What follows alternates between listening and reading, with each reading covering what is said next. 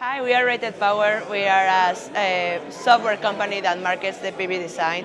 The PV design helps to automatize and optimize the study analysis all design of the photovoltaic plants in the design stage, helping the clients uh, to reduce the costs when they are building all the PV plants. And as well, uh, we only work right now with solar energy, big companies, solar energies, and the clients are all around the world. And as well, the team. Uh, right now, the last year we have been acquired from Enverus, that is a SaaS Energy that is from North America.